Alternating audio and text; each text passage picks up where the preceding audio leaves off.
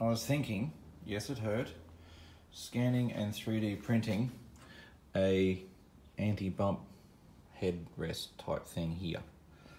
Because at the moment, like if you cracked your head like in like whiplash type thing, that'd be nasty. So I thought maybe we could scan that curve and just a little, I don't know, headrest thing, bump, bump protection. Might be good. Maybe while we're at it, we could do something for here as well.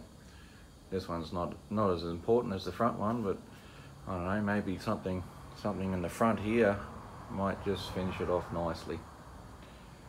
Yeah, we'll think. So, allow me to introduce you to a mate of mine, Bernie. We worked together for years on Blackhawks, and he's a self-taught guru on 3D printing, drawing, scanning, all of that cool stuff. So he's actually helping me on um, the control stick grip as well. So watch for that. Uh, see what we can come up with.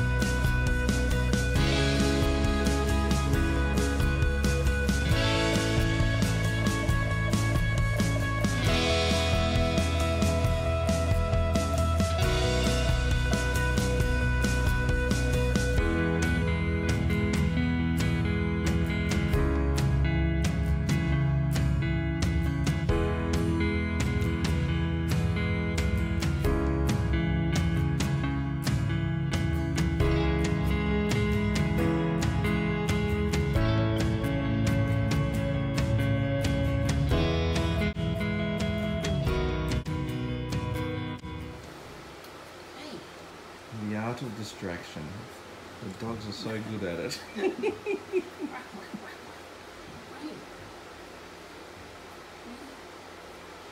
Got to, you know, the one face then where the normals are. Yeah. You can see the other side of the scan. Um, and we also see the, uh, Just all the detail is just perfect. yeah.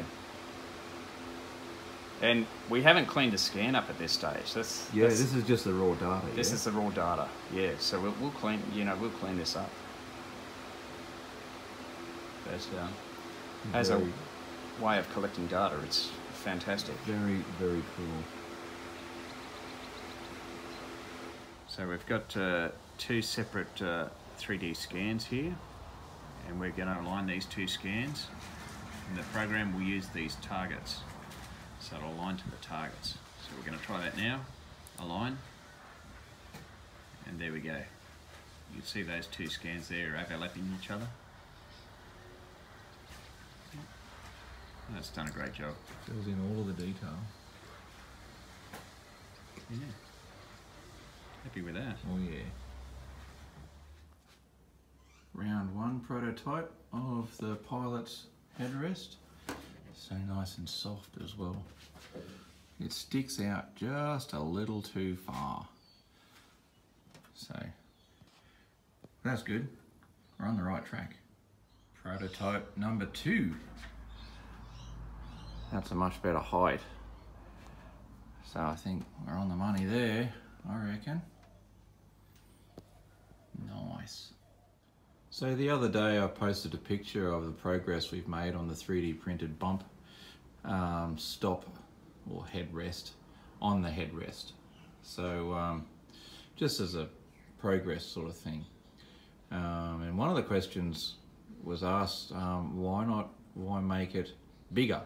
instead of just round like that. Um, the whole concept of this was just to see if I could make it. So there's no structural value to a headrest at all. Um, so the thought never really entered my mind that it needed to be anything particular. I just wanted, I thought round would be nice. Really, that's all. But the beauty of 3D stuff is, and that we've scanned it all, is um, we can do whatever we like. So, just for fun, thought we'd print one and have a look, see what it looks like. That looks alright actually, doesn't it? Yeah. Hmm. Might be a thing yet, eh?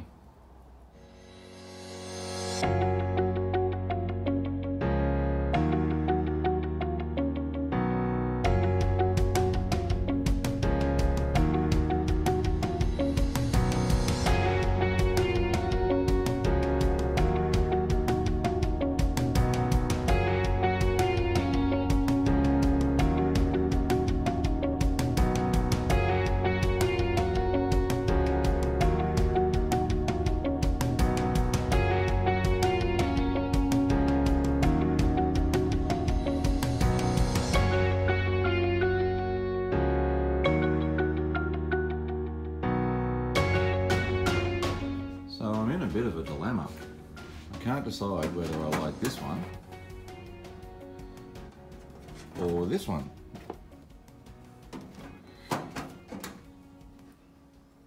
Hmm. What do you reckon? They both look good. I'm leaning towards this one, I think. A mate of mine decided, and told me he reckons this one looks more like something out of a Snap-on catalogue.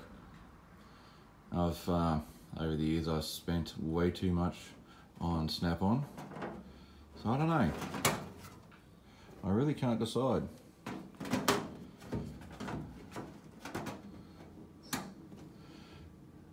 Hmm. What do you reckon? Maybe I'll just fly fly around with one and then the other some other time.